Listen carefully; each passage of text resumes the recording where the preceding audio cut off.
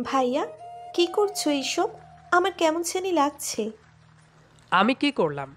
তুই তো বললি ছায়াবাজি দেখতে ইচ্ছে করছে। কিন্তু ওখানে কী সব দেখা যাচ্ছে? দেখে আমার শরীরে কেমন জানি লাগছে। বন্ধ করো না প্লিজ আরে আর একটু দেখ না।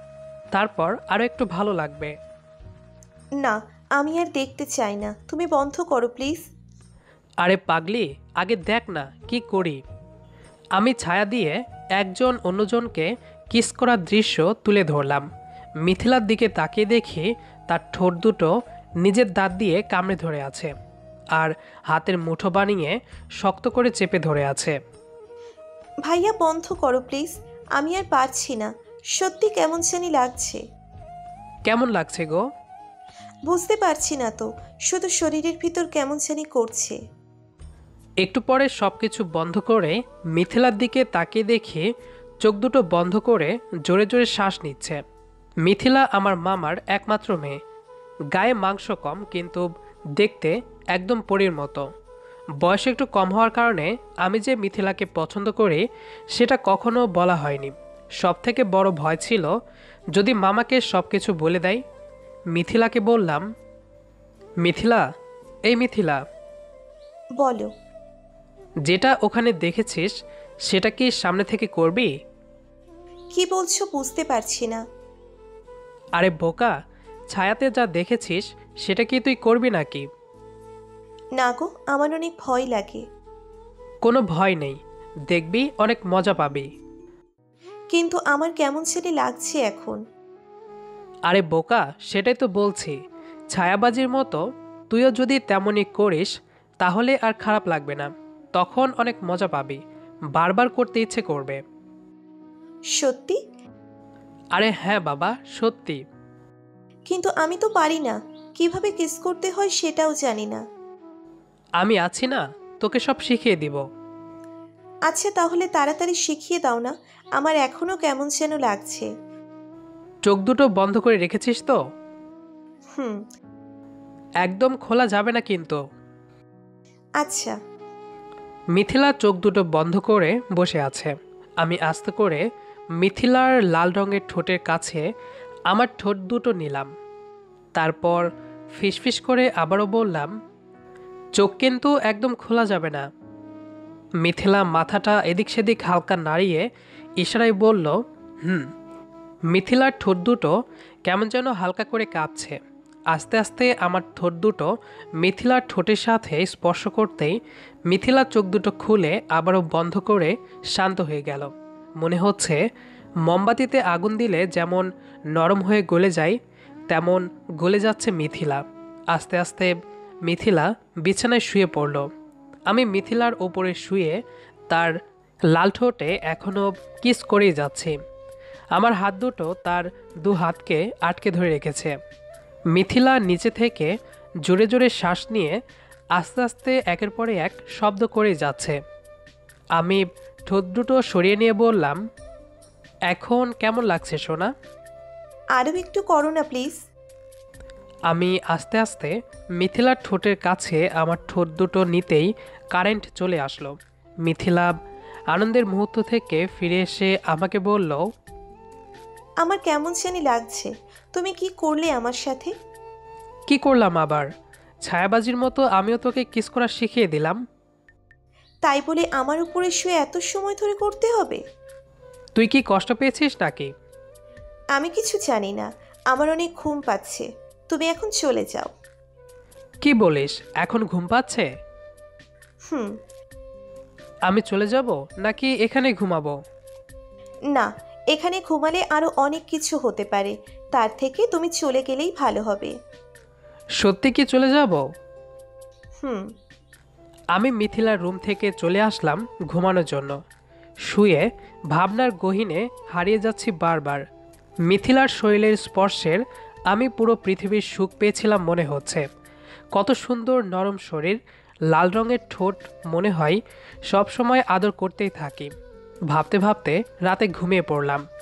মিথিলা আমার মামার একমাত্র মেয়ে। মামার বাড়িতে মাঝে মধ্যেই যাওয়া আসা হয়। লোকে এমনিতেই কি বলে, মামার বাড়ি রসের হাড়ি মিথিলাকে আমি কখনো সেভাবে খেয়াল করে দেখিনি। কিন্তু এইবার মিথিলাকে দেখে আমি তো পুরাই ফিদা হয়ে গেছি। হঠাৎ একদিন মামা ফোন করে ডেকে পাঠালেন আমাকে। মিথিলার পরীক্ষা, তাই আমাকে কয়েকদিন এখানে থেকে মিথিলাকে পড়াশোনায় হেল্প করতে হবে। সবশেষে আম্মুকে বলে চলে আসলাম তার ভাইয়ের বাড়িতে। সেই সন্ধ্যা থেকে একটা অঙ্ক বারবার বুঝিয়ে যাচ্ছি, কিন্তু মিথিলা কিছুতেই বুঝতে পারছে না। এই মিথিলা মনে হচ্ছে আমার মানসম্মান মামার কাছে জলে ডুবিয়ে দিবে। যদি আমি পড়ানোর পরেও মিথিলা ভালো রেজাল্ট না করতে পারে, তাহলে মামা মনে মনে ভেবে বসবে, আমি ভালোভাবে পড়াতে পারিনি। রাতে সবার সাথে খাওয়া শেষ করে আবারও পড়াতে শুরু করলাম। হঠাৎ কারেন্টটা চলে গিয়ে পুরো বাড়িটা অন্ধকার হয়ে গেল।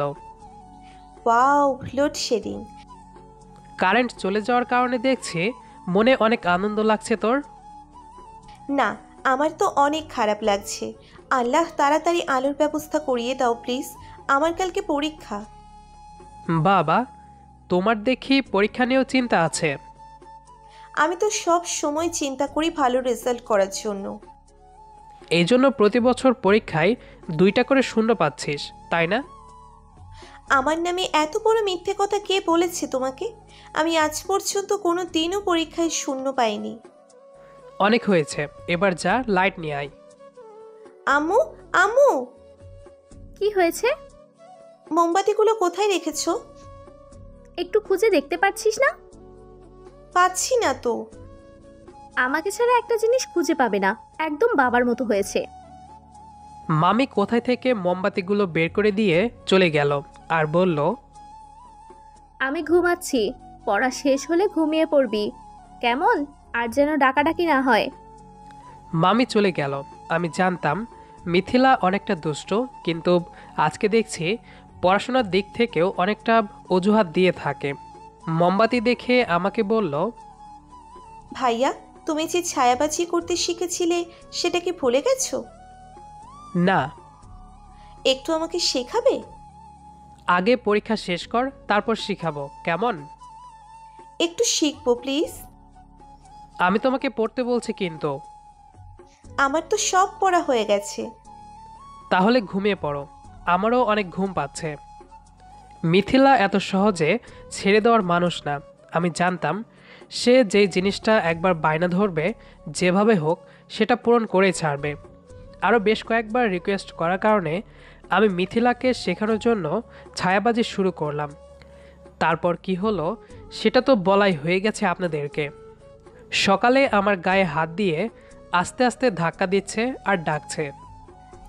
ভাইয়া এই ভাইয়া। কি হয়েছে? এত রাতে ডাকছিস কেন?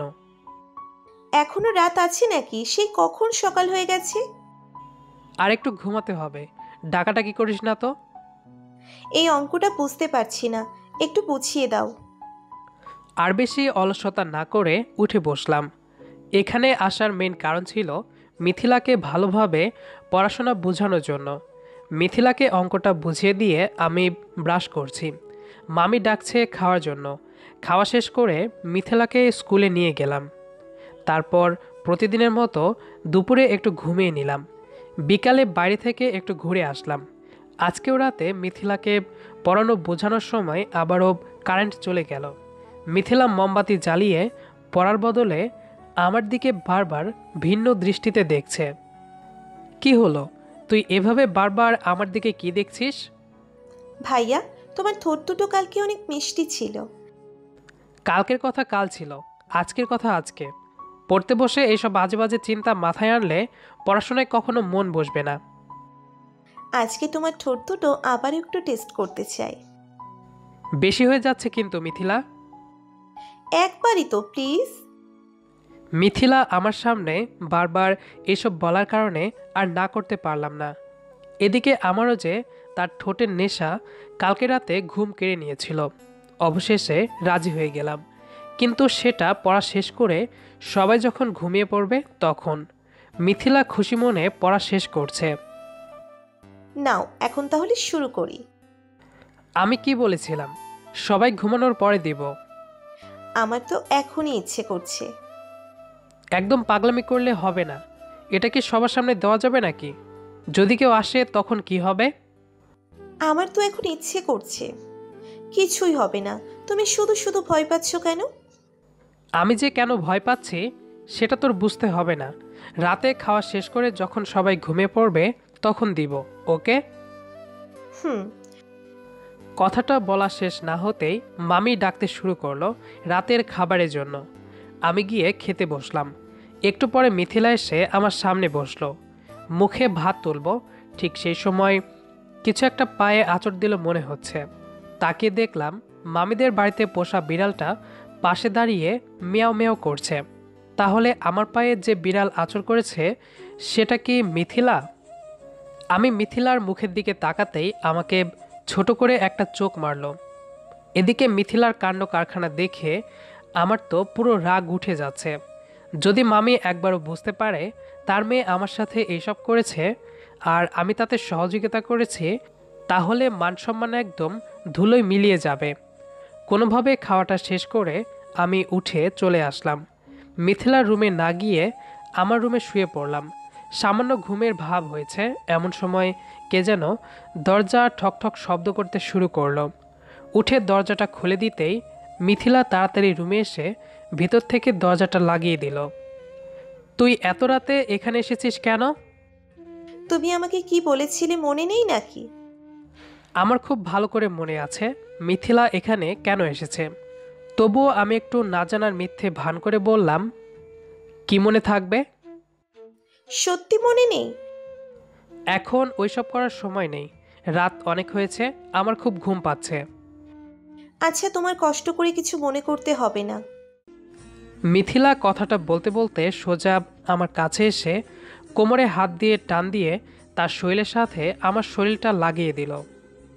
মিথিলা কি করছিস এসব? যদি কেউ আসে তাহলে কি হবে? এত রাতে কেউ আসবে না। যদি মামা মামি তোর রুমে তোকে দেখতে না পায় তাহলে কি খুঁজবে না? আমি বাইরে থেকে নক করে রেখেছি। মনে করবে দরজা লাগিয়ে দিয়ে ঘুমিয়ে পড়েছি। মিথিলার বয়স দেখে মনে হয় না তার মাথায় এত বুদ্ধি। কিন্তু হঠাৎ করে তার এত কিস করার নেশা উঠল কেন বুঝতে পারছি না। রাতের অন্ধকারে নিজের রুমে লক করে আমার রুমে এসেছে কিস করার জন্য। আমি আর দেরি না করে মিথিলাকে একটা কিস করলাম। হয়েছে? তুই এবার চলে যা। আরে এইটুকুতে হয় নাকি? শুধু একবার ঠোঁটের সাথে লাগিয়ে তাৎক্ষণিকভাবে সরিয়ে নিলে। আমি তো কিছু বুঝতেই পারলাম না। তাহলে কি এখন সারা রাত ধরে কিস করতে হবে নাকি? আমিও সেটাই ভাবছিলাম। আজকে রাতটা না হয় এখানেই থেকে যায়। আরে পাগল হয়েছিস নাকি? তাড়াতাড়ি চলে যা বলছি। আরে, আমি তো মজা করেই বলছিলাম। তুমি শুধু শুধু রেখে যাচ্ছ কেন? আমার রাগ দেখে মিথিলা কথা ঘুরিয়ে নিল। তবে মনে হচ্ছে এই সামান্য কিস করাতে মিথিলা যাবে না। আবারও তার ঠোঁট দুটো আমার ঠোঁটের সাথে লাগিয়ে কিস করতে শুরু করলাম। তারপর মিথিলাকে আমার বুক থেকে সরিয়ে তার রুমে যেতে বললাম। মিথিলা যেতে সংকোচ বোধ করলেও আমার রাগ দেখে চলে গেল। আমার ভুল হয়েছিল সেদিন কিস করে মিথিলাকে হট করানো। সে হয়তো এখন সবসময় কিস করার ভাবনায় ব্যস্ত থাকে। শুয়ে ভাবছি, যত তাড়াতাড়ি সম্ভব আমার এই বাড়ি থেকে চলে যেতে হবে। না হলে কখন মিথিলা উল্টাপাল্টা করবে তার ঠিক নেই। পরের দিন সকালে ঘুম থেকে উঠে খেয়ে নিলাম। তারপর মিথিলাকে স্কুলে রেখে এসে মামিকে বললাম, মামি, আমি বাড়িতে যেতে চাই। কেন অয়ন কোনো সমস্যা হয়েছে নাকি? অনেক দিন হলে এসেছি। আমার মনে হয় বাড়িতে যাওয়া দরকার। অনেক দিন হলো এসেছ মানে? তোমাকে কেউ কিছু বলেছে নাকি? না আমি সেটা বলছি না। দেখো তুমি আমার ছেলের মতো। যতদিন ইচ্ছে হবে তুমি এই বাড়িতে থাকবে। আসলে বাড়ির কথা খুব মনে পড়ছে। তাছাড়া মিথিলার তো কঠিন সাবজেক্টগুলোর পরীক্ষা শেষ হয়ে গেছে তাই না? আজকে তোমার মামা তো বাসায় নেই। ব্যবসার কাজে সকালে শহরে গিয়েছে। তুমি আজকের দিনটা থাকো। কালকে তোমার মামা আসলে দেখা করে যাবে কেমন? আমি মুখের সামনে হাত নিয়ে ফিসফিস করে বললাম এতক্ষণে আপনার মেয়ে আমাকে ঠিক রাখলে হয়। কিছু বললে কি? না তাহলে কালকেই যাব। হ্যাঁ কালকে তোমার মামা আসলে তবেই যাবে কেমন? এখন খেতে আসো আমি ভাত দিচ্ছি। খাওয়া শেষ করে আমি স্কুলে গেলাম মিথিলাকে আনার জন্য। বিকালে মিথিলাকে একটু পড়াশোনায় হেল্প করে আমি ঘুমিয়ে পড়লাম। পরের দিন দুপুরের দিকে মামার সাথে দেখা হলো। সবার থেকে বিদায় নিয়ে বাসার দিকে রওনা দিলাম। মিথিলা পরীক্ষা দেওয়ার জন্য সেই সময় স্কুলে ছিল, তাই আর মিথিলার সাথে দেখা হলো না। কিছুক্ষণের ভিতরে বাড়িতে পৌঁছে যাব, ঠিক সেই সময় মিথিলার ফোন আসলো। অয়ন ভাইয়া কোথায় তুমি? গাড়িতে বসে আছি। তুমি বাড়িতে যাচ্ছ তাহলে আমার সাথে দেখা করলে না কেন? তুই তো স্কুলে ছিলি। তাই বলে তুমি দেখা না করে চলে যাবে? আচ্ছা বাবা মন খারাপ করিস না। আমি কিছুদিন পরে তো আবার যাব তাই না? আমার আর দুইটা মাত্র পরীক্ষা আছে। ভেবেছিলাম পরীক্ষা শেষ হলে তোমাকে নিয়ে একটু ঘুরবো। আর তুমি এভাবে চলে গেলে? বললাম তো কয়েকদিন পরে যাব। তখন আমাকে নিয়ে তোর পুরো গ্রাম ঘুরে বেড়াবি, কেমন? মিথিলা অনেকটা মন খারাপ করেছে। হয়তো এখন আমার প্রতি তার একটা ভালো লাগা কাজ করে। আমারও মিথিলার সাথে দেখা না করে আসা উচিত হয়নি। অনেক বোঝানোর পরেও মিথিলা মন খারাপ করে ফোনটা কেটে দিল। আমি গাড়ি থেকে নেমে বাড়িতে চলে আসলাম। ঘরে প্রবেশ করতেই মায়ের হাতে রান্নার ঘ্রাণ নাকে আসলো। অনেকদিন হলো মায়ের হাতে রান্না খাওয়া হয় না। ফ্রেশ হয়েই আগে একটু খেয়ে নিলাম। রাতে ঘুমানোর আগে ফোনটা হাতে নিয়ে দেখি মিথিলা আমাকে মেসেজ করেছে। অনেক মিস করছি তোমাকে। তুমি জানো আমি তোমাকে ভালোবাসি। তবুও এভাবে না বলে চলে গেলে খুব কষ্ট হচ্ছে জানো? আমি রিপ্লে দিলাম। দেখ মিথিলা এটা কোনোদিন সম্ভব না। আর আমাদের এই ভালোবাসা পরিবার কখনো মেনে নিবে না। মামা যদি জানতে পারে তাহলে কি হবে ভেবে দেখেছিস? যা হয়েছে তার জন্য আমি দুঃখিত। তুই প্লিজ সব কিছু ভুলে যা। কে মানলো আর কে মানলো না তাতে আমার কিচ্ছু আসে যায় না। আমি তোমাকে ভালোবাসি মানে তোমাকেই লাগবে। আমি আরও বেশ কয়েকটা মেসেজ দিলাম কিন্তু কোনো রিপ্লাই আসলো না। হয়তো মিথিলা আরও একটু অভিমান করেছে। পরের দিন বিকালে বন্ধুদের সাথে আড্ডা দিচ্ছি। এমন সময় মা ফোন করল। কোথায় তুই? এই তো একটু আড্ডা দিচ্ছি। পাঁচ মিনিটের মধ্যে বাসায় আসবি। কেন? কি হয়েছে? আসলেই বুঝতে পারবি কি হয়েছে। আমি আর কোনো কারণ জানতে চাইলাম না। মা এমন করে আগে কখনো ডাকেনি আমায়। বাসায় এসে আমার চোখ কপালে উঠে গেল। বুক থরথর করে কাঁপতে শুরু করছে। মিথিলা বসে টিভি দেখছে। আর মামা মামি আব্বু আম্মুর সাথে বসে আছে। কি রে এত সময় লাগল আসতে? একটু দূরে ছিলাম। সারাদিন না খেয়ে আড্ডা দিলে কি শরীর ঠিক থাকবে বাবা? মিথিলা অনেকক্ষণ হলো তোর জন্য অপেক্ষা করছে। আমি মিথিলার কাছে গিয়ে আস্তে আস্তে বললাম সবাইকে বলে দিয়েছিস নাকি? কি বলব? কিছুই বলিসনি। শুধু বলেছি আমি অয়নকে ছাড়া বাঁচবো না অয়নকেই বিয়ে করতে চাই। কি? আর ফিস ফিস করে বলতে হবে না। তোদের দুজনের বিয়ে ঠিক করেছি। কিন্তু মা আমি তো কিছুই করিনি। মিথিলা সব বলেছে তোদের ব্যাপারে। সামনের মাসে বিয়ে হবে তোদের। অবশেষে বিয়েটা হয়ে গেল। বাসর ঘরে এসে মিথিলাকে বললাম ছি তুই সবাইকে কেমন করে বলেছিস এসব? একটু লজ্জা করল না? ভালোবাসার কথা বলতে লজ্জা কিসের? আর কিস করার ব্যাপারটা? আমি ওইসব বলতে যাব কেন? সত্যি কিছু বলিসনি? না। সত্যি? সত্যি আমি এইসব কিছু বলিনি। ওরে আমার সোনা পাখিটা রে। মিথিলাকে কাছে নিয়ে আদর করতে শুরু করলাম। আদরে মোমবাতির মতো গলতে শুরু করল মিথিলা। এদিকে আমি যে মিথিলাকে পছন্দ করতাম সেটা না বলায় থেকে গেল। পুরো গল্পটা শোনার জন্য ধন্যবাদ। আমাদের আজকের গল্পটি আপনার কাছে কেমন লেগেছে সেটি অবশ্যই কমেন্ট করে জানাবেন। দেখা হবে আবারও নতুন কোনো গল্প নিয়ে। সে পর্যন্ত আমাদের সাথেই থাকবেন। ধন্যবাদ সবাইকে।